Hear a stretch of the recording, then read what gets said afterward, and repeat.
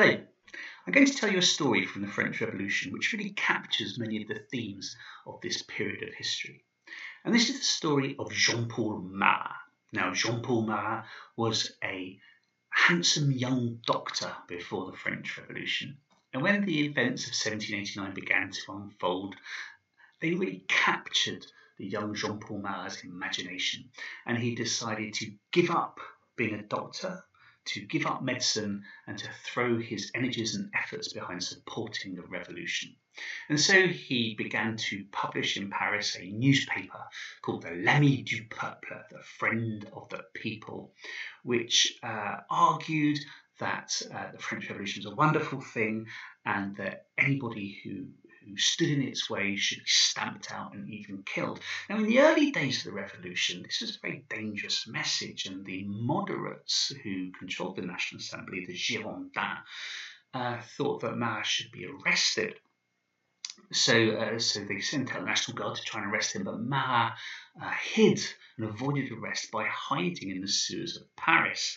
And whilst he was there, he contracted a very nasty and painful skin disorder, a psoriasis of the skin, um, that caused him to lose his his youthful handsomeness and meant that he had to constantly wrap bandages soaked in vinegar around his face and the rest of his skin just to cause him some give him some relief from the pain. So many of his friends said that he quite often smelled of rotting flesh uh, and of the tang of, of vinegar as well because of his condition.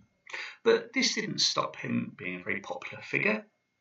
Um, with the people of Paris, with his sans-culottes, the mob in Paris, and he was uh, very soon uh, elected to the convention that was the new name for the National Assembly, so the uh, ruling group of France. And when Robespierre uh, took control and, and, and, the hardliners began to control the convention the events of the revolution, um, Marat became a, a, more and more powerful figure, and he threw himself in the he was a more powerful figure in the convention, and here's the conventional meeting together, um, actually for the trial of Louis XVI. This meeting was, but Marat threw himself behind the revolution and behind the terror as well, um, and he thought that that many people who were enemies of the people who weren't enthusiastic about the revolution should be guillotined. And let me introduce you to another character in, in our story. And this was a lady called Charlotte Corday. Now, Charlotte Corday came from a noble family, but she was actually a supporter of the revolution. She thought that France needed to be modernised and that the three estate um, three estate system was was outdated.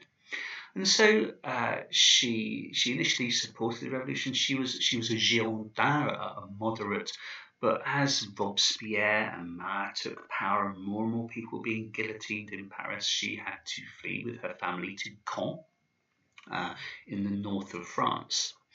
And um, in Caen, she became more and more concerned about what was happening in the revolution. Um, her mother had died in childbirth a few years earlier, and the priest who had read her mother her last rites, a, friend of the family, he had refused to swear an oath in support of the revolution because the revolution had shut down churches. Um, and so uh, the priest, who was a friend of the family, was actually the first person to be guillotined in as, as an enemy of the revolution. And this greatly upset Charlotte. She she wanted to do something to stop all the violence that was happening in Paris. And so she she left a note to her father in Caen and, and asked him to forgive her because she was going to Paris to see what she could do about the situation. And Charlotte actually planned to take a very drastic measure. She planned to murder one of the leaders of the convention, Jean Paul Marat. So on the 13th of July 1793, Charlotte uh, bought a dagger and she concealed it under her dress. And she waited patiently outside the convention uh, for Jean Paul Marat to appear, but he didn't.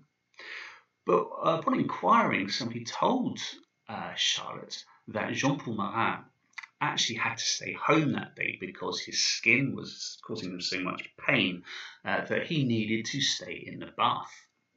And so Charlotte uh, took herself off to uh, Jean Paul Marat's house, 30 Rue des Cordeliers.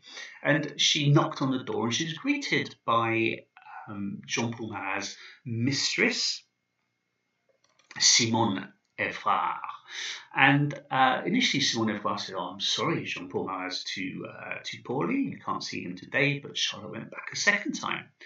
And Simone said, Look, I'm very sorry, madam, but you cannot uh, see him. He's, he's in a lot of pain, and sent him away. And then the, uh, third time that Jean Paul Marat went round, uh, about seven o'clock in the evening, uh, she, she was quite insistent and said, I, I must see him. And, and Simone said, Well, no, of course you can't see him. But Jean Paul Marat, who was in the bath, uh, heard them arguing and he called down and he said, Oh, Simone, uh, if there's somebody to see me, let them in. And so uh, Jean Paul Marat allowed uh, Charlotte Corday uh, into his bathroom whilst he was he was uh, doing some work in the bath and agreed to to, to, to give her an audience.